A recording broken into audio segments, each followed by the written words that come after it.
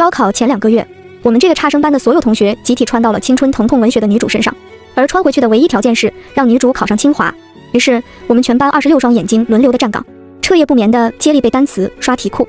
当恶毒女配得意的打开被反锁一夜的仓库门时，却看到女主披头散发，带着两个硕大的黑眼圈，朝她悠悠的笑道：“嘿嘿，昨晚我们所有的单词都背完了哦，perfect，零幺。”上一秒，我正拿着三十二分的数学试卷痛哭流涕，下一秒，一股大力袭来，我突然被推倒在地。一个长相艳丽的女生指着我的额头，表情轻蔑道：“哈，你就是林灿吧？来人，把他的脸扇烂，看他还怎么勾引辉哥哥！”卧槽，什么情况？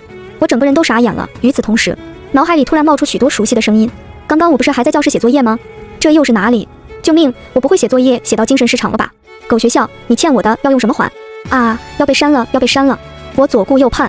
然后惊恐地发现，这些声音居然是从我身体里传出来的。更惊恐的是，我控制不了自己的身体，眼看着女生身后的小妹们就要狞笑着围过来，我的身体突然不受自己控制地移动起来。我一个灵敏的躲闪，眨眼间就跑到了厕所门口，拿起装满水的水桶往厕所里一洒，随即转身就跑。身后接二连三地传来剧烈的摔跤声和小妹们的怒骂声。跑到楼下的空地处，我终于停下了步伐，心有余悸地拍了拍自己的胸口，然后体委内因为惊吓而变得格外豪迈粗犷的声音响起：“我的个老天爷呀！”我咋变成一个妹砸了？罪过罪过呀！零二，听到这句话后，身体里叽叽喳喳的议论声更大了。突然，一道无比威严的声音如惊雷般降临：“同学们稍安勿躁，我怀疑全班同学现在都在一具身躯里。班长，你清点一下人数。”天啊，是班主任！我无声的呐喊道。全班也一下子鸦雀无声。一、二、三、二十五。报告班主任，全班同学都在这里了。班长温柔沉稳的声音响起，我已经能脑补出他扶了扶眼镜的样子。好，班主任继续说道：“我们来集思广益一下。”有没有同学知道现在是什么情况？这时，一道怯怯的女声响起：“老师，我我知道。”我有些意外，这个女生叫刘梓彤。我对她唯一的印象就是内向安静，平时在班级里的存在感也很低。刘梓彤犹豫了一下，终于坦白了所有。老师，说起来你可能不信，但我们全班应该是穿成了一本青春疼痛文学小说的女主。这本青春疼痛文学小说主要讲述了围绕在四个高中生之间的爱恨情仇。女主林灿是个优等生，乖乖女。平凡的她一直暗恋又痞又帅的校霸男主。而富家千金女二也喜欢校霸男主。某天，女二意外地发现了女主写给男主的表白日记，于是带着自己的小跟班们集体霸凌他。但是还是妨碍不了校霸男主对女主产生了爱的火花。然而，从小和女主青梅竹马的男二也喜欢她，于是校霸吃醋，女二从中作梗。经过一番操作后，女主为男主流产两次，自杀三次。男二为了护住被女二找来的小混混骚扰的女主，也断了两只胳膊。最后，女主得绝症而死，男二殉情。男主终于意识到自己的心意，他狠狠地报复了女二，然后一个人孤独终老。听完全部剧情后，全班都沉默了。我尬笑了一声，哈哈，这本小说还挺挺有特色哈。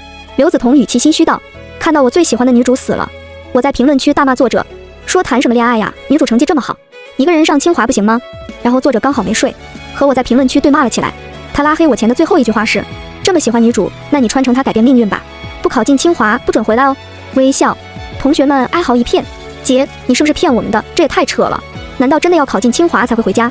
那还不如直接杀了我！呜呜，刘梓彤，你穿成女主也就算了，怎么我们也一起穿了过来呀？呜呜，而我眨了眨眼，一时不知道该说些什么。这时，班主任终于消化完全部的狗血剧情，给出了锐评：刘梓彤，都快高考了，你居然还熬夜看小说，还在网络上和人对骂，岂有此理！被点名后，刘梓彤瞬间隐身，不敢说话。零三，经过这番交流，我们终于确定了事实：我们全班都穿越了，还穿越到了同一个人身上，共用同一具身体。只不过身体的控制权是有一定时效的，比如最开始控制身体躲避巴掌的便是体委，而现在控制身体的是我。此刻我坐在考场的座位上，面如菜色。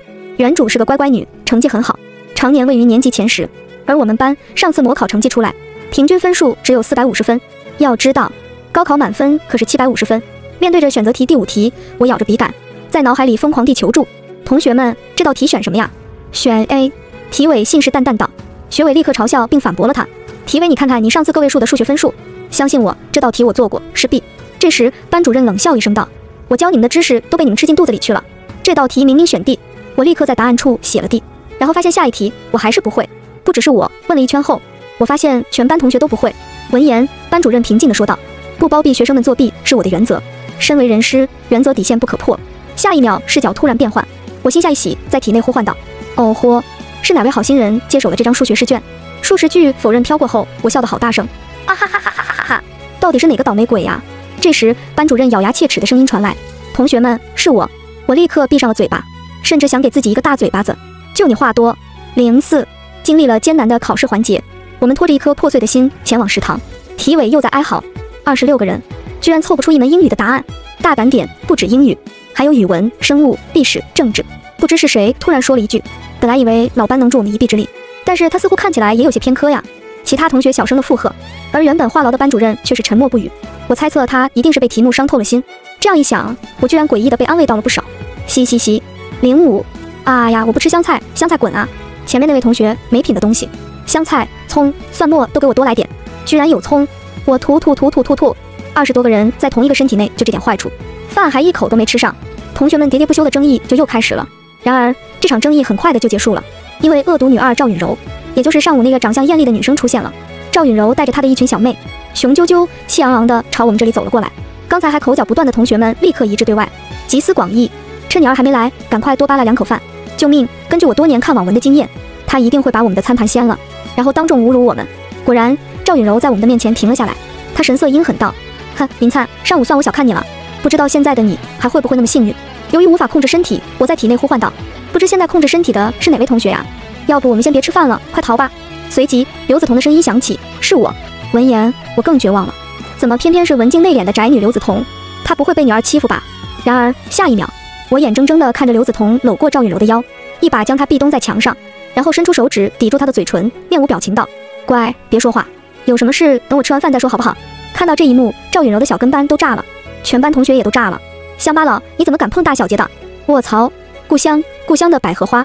而我则是用我的意念艰难地控制住了女主的手，朝刘梓彤竖了一个大拇指。刘姐，你才是我唯一的姐。零六，赵允柔愣住了，随后她不知脑补了些什么，居然红着脸推开刘梓彤，气势不足道：“今天，今天是我没有准备好，但只要你喜欢辉哥的一天，我就还会来找你麻烦的。”说完这句话，赵允柔便带着她的小妹们迅速的退场，而刘梓彤深藏功与名，淡然地坐到原来的座位上，准备继续吃饭。这时，一个看起来无比狂拽酷霸炫、浑身自带光环的男人走了过来。请注意，不是那种比喻的光环，而是他真的浑身带着一道金光。男人摘下墨镜，无比自信地朝我们邪魅一笑，那光芒险些让我们睁不开眼睛。你叫林灿是吧？真是有意思的女人。而刘子彤裂开的声音响起：“不好了，接替身体的同学请注意，他就是校霸男主沈辉，他居然提前出场了。”沈辉伸出修长的手指，一把捏住我们的下巴，轻佻道：“本少爷看上你了，要不要考虑做我的女人？”而迎接他的。是学伟惊恐到语无伦次的声音。卧槽，帅哥你有病吧？我有女朋友的，我直的不行哈。哥们，我可从来不搞这些的呀。沈辉看了看我们，又看了看被学伟一把甩开的手，陷入了沉思。这时，沉寂已久的班主任的声音又响了起来。他灵敏地抓住了核心，质问道：“学伟，你哪来的女朋友啊？”哦吼，这下终于被我抓到早恋了吧？等等，班主任，我知道你出发点是好的，但是你先别出发。零七，这顿饭终究是有惊无险的吃完了。回到教室，我们坐在座位上，开始在脑海里商讨计划。距离高考只有两个月的时间了，我们真的能让女主考上清华吗？大家别灰心，我们表面上只有一千四百四十个小时可以学习，但实际上还有二十六乘号幺四四零个小时。对，我们把二十六本书摊在面前，然后一人看一本书，这样效率一下子就高了。班主任适时的插话道：“等等，我们班不是只有二十五个人吗？”我悠悠道：“老师，别忘了你也是一个成年的劳动力呀。”班主任又安静了。为了小说的剧情需要，女主目前是没有同桌的，所以我们放心的将两张书桌拼在一起。并在书桌上放满了书本，不公平！凭什么让我看生物书？我看不懂啊！别让我背历史行吗？我头都要大了！听到这些丧气的话，班长立刻出声阻止，激励道：“同学们，无论大家现在的想法是什么，我们的目标都是一致的，那就是让女主快点考上清华。你现在记住的每一个知识点，都是让全班同学快点回家的助力。”我也趁机鼓励道：“同学们，班长说的对。”学委颤巍巍的声音传来：“呜，我好想我女朋友啊！大家都好好的学习吧，我们争取早日回家。”听到这句夹带私货的话。班主任重重地咳了两声，为了给大家打气，他首当其冲地打开了他最偏科的语文书。看到这一幕，我们一下子士气大增，纷纷地打开了其他书本。于是，在全班同学的齐心协力之下，我们虽然只有一个身体，却触发了千手观音的技能点，双手不停地翻着桌上的书本。由于太过投入，全班同学都沉浸在知识的海洋中，不料动静太大，一下子把在教室外面巡逻的教导主任吸引了过来。这位同学，教导主任敲了敲我们的桌子，学习被迫中断。我们皱着眉头。表面上是一个人抬头，实际上二十六双浴血不满的眼睛直勾勾地盯着他。教导主任一下子起了鸡皮疙瘩，他抬了抬手，示意我们跟着他去门口。那种熟悉的被请喝茶的恐惧一下子盖过了我们的愤怒。我在脑海里尖叫道：“完了，露馅了！我们不会被怀疑吧？”而班主任一拍桌子，用刚学的诗句安慰我们道：“同学们别怕，人生自古谁无死，留取丹心照汗青。”呃，班主任，您还怪好嘞。零八，林灿，这是你这次模考的成绩单。教导主任脸色难看的将一张纸甩到我手上，同学们都惊了。上午刚考完试，下午成绩就出来了，这是什么魔鬼学校？而班主任喟叹道：“这里的老师也太敬业了，我要多向他们学习学习。”那倒也不必。成绩单上除了数学成绩是一百三十五分，其他科目成绩都惨不忍睹。再一看排名，原主已经由原来的年级前十变成了六百名开外。最近的传闻你听说了吗？教导主任忽然看向我们，一脸严肃。我心下一紧，发现身体的控制权又突然变成了自己。教导主任意味深长道：“沈辉是富家公子，成绩不好也能出国留学。林灿，你呢？不是我打击你，像你这样的普通孩子，还是多花点心思在学习上吧，不要被乱花迷了眼。”刘子彤忽然出声。原剧情中，女主听到教导主任的话后，顿时自尊心上来，觉得自己被看轻了，于是更加坚定要和沈辉在一起的决心。事实上，教导主任还是挺有师德的，即使女主后来在校怀孕流产，他也没有放弃这个学生。闻言，同学们都呜呜出声，纷纷的表示太感人了。我也眼泪汪汪，一个滑跪便抱住了教导主任的大腿，嘶吼道：“老师，你可要相信我呀！那些传言都是假的。我林灿的爱人有且只有一个，那就是知识，知识就是力量。”教导主任吓了一跳，他想扶起我。我却死死地抱着他不撒手。老师，你说啊，说你相信我，不然我就不起来了。呜呜，我我相信你。同学，你先不要激动。听到教导主任这句话，我立刻站了起来，朝他龇牙一笑，道：“谢谢老师。那我现在去学习啦。”说完后，我转身就跑，只留下风中凌乱的教导主任。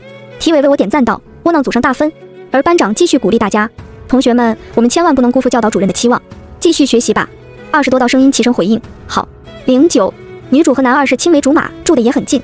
因此，两人每天都是一起放学、一起回家的。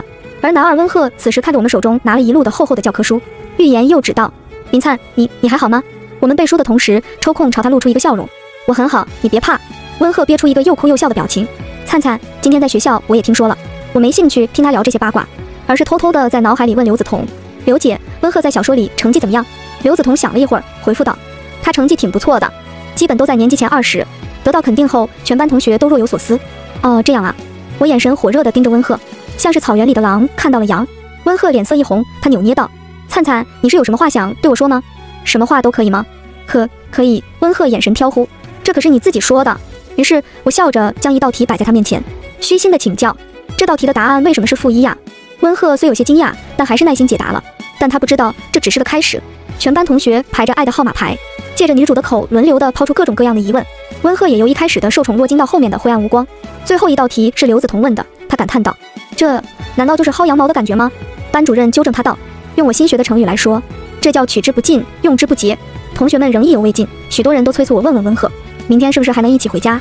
温鹤表情略显扭曲：“灿灿，明天我好像有个值日要做，你先自己回家吧。”好吧，同学们都无比遗憾。十，当我们和温鹤路过小巷子的时候，两对小混混突然冲了出来，然后相互斗殴了起来。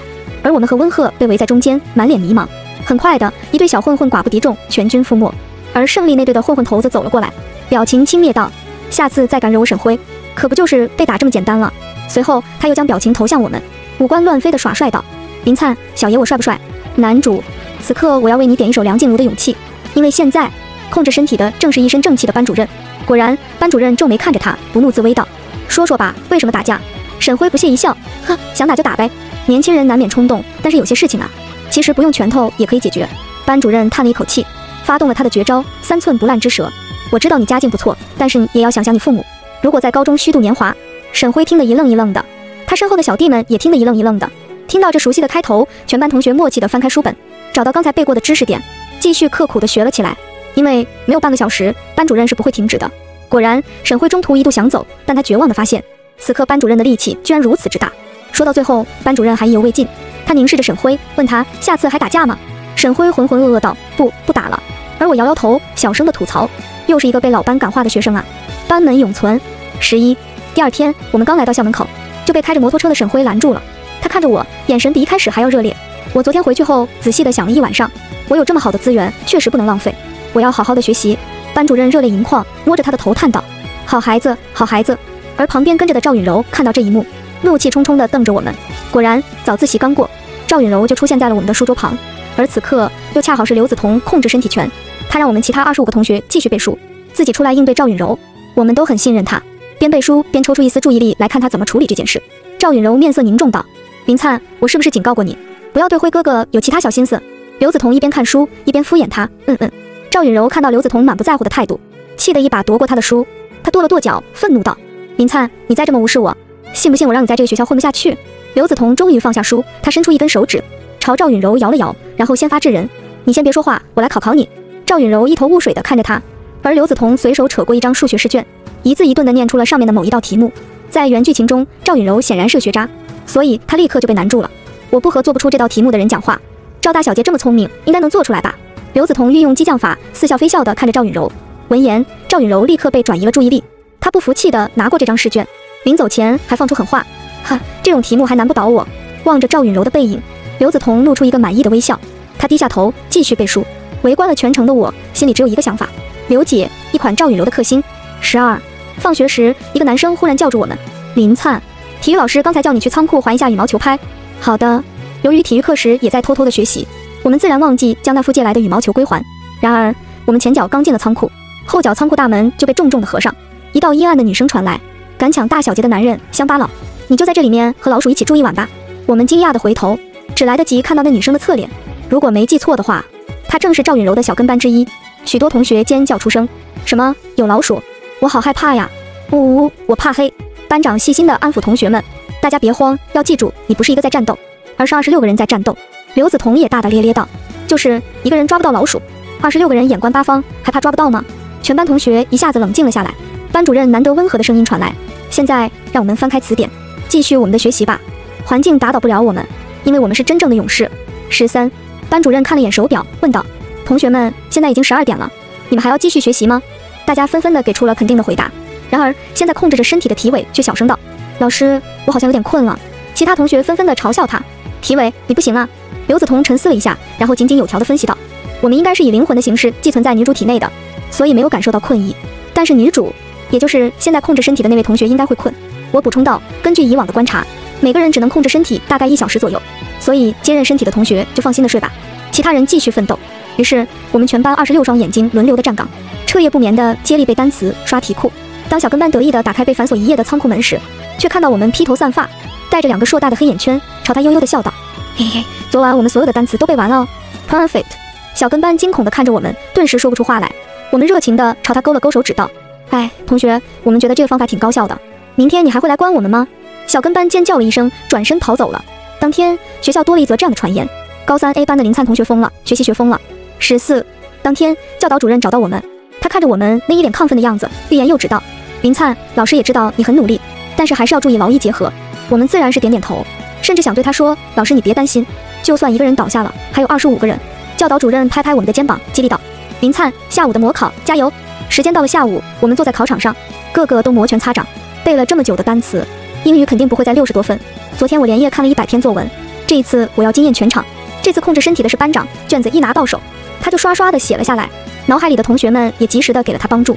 于是，在其他考生还埋头苦写的时候，我们已经齐心协力的将试卷写完。并且提前交卷，在门口继续复习下一门科目的资料。班主任热泪盈眶，太励志了！我好像重新回到了十八岁那年。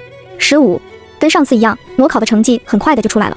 功夫不负有心人，在全班同学的努力下，女主的成绩顺利的从倒数上升到了年级前三十。让我们意外的是，赵允柔带着她的一群小妹走了过来，神色别扭道：“林灿，你愿不愿意跟我们成立一个学习小组啊？”我们还没说话，她又急忙道：“上次那道题我已经做出来了，答案是三百零九。”这下你不能拒绝跟我说话了吧？这时沈辉又走了过来，他哼了一声，傲娇道：“林灿，看你的成绩不错，本少爷允许你帮我补课。”闻言，赵允柔发现自己被截胡了，立刻变脸嘲讽他：“你和林灿什么关系？还想让他给你补课？想得美！”沈辉立刻炸了：“赵允柔，搞得你成绩多好一样。哎呀，可是我这次总分比你多十分哦。”赵允柔阴阳怪气道。眼看着这两个人争执不休，全班同学都感到十分惊奇。赵允柔不是喜欢沈辉吗？怎么两个人吵起来了？这就是知识的力量啊！此刻控制身体的是班主任，他站起身阻止了两个人，大爱无疆道：“你们都不要再吵了，我们一起成立个学习小组吧，谁不参加我都会伤心的。”赵允柔和沈辉立刻停止争吵，齐刷刷的转头看着他。十六，虽然看起来很魔幻，但事实确实如此。我们赵允柔、沈辉、温鹤居然围坐在同一张桌子旁探讨学习。赵允柔和沈辉是自愿留下的，而温鹤是被我们硬留下来的，因为这两个人老是问我们问题，我们干脆以毒攻毒，让温鹤来教他们。温鹤简直一个头两个大，而女主表面上坐在那里复习，实际上也没有闲着，因为我们正在脑海里你一句我一句的进行快问快答。赵允柔看我面前摊着十几本书，整个人却一动不动，如老僧入定般的坐在原地。她忍不住推了推我：“林灿，你没事吧？”我们正激烈的探讨着，猝不及防的被他一推，整个人从椅子上摔了下去。赵允柔吓了一跳，我我发誓我不是故意的。我们麻利的从地上爬起来，摇了摇头，没事。沈辉也来凑个热闹。哎，林灿，我发现你记住东西挺快的呀，基本上是看几下就记住了。我们勾唇浅笑了一下，深藏功与名道，勤能捕捉罢了。下次我定能超越你。沈辉向我们宣战。赵允柔翻了个白眼，人家就是谦虚一下，你还真的嘚瑟起来了。沈辉和赵允柔又吵起来了，温鹤在旁边劝和。